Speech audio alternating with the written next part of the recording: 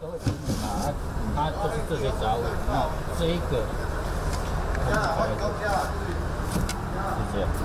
打开废弃衣柜，里面有一个旧包包，拉链拉开，看到好几个戒指盒跟红色小布包，一一打开，竟然全是金戒指，有些还附保证书，重量大约一两五钱，市价高达九万元。其实找到金子的几率并不高，嗯嗯，因为找到的话就是铜板，还有那个纸钞，比较几率比较多，嗯，铜板是最多的。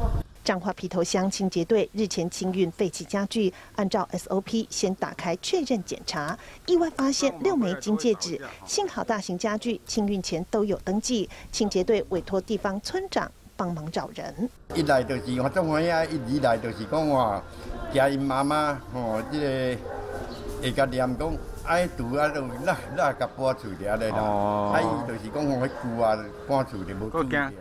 失而复得，失主感谢清洁队员拾金不昧，把金戒指找回来。大爱新闻彰化综合报道。关心下午天气变化。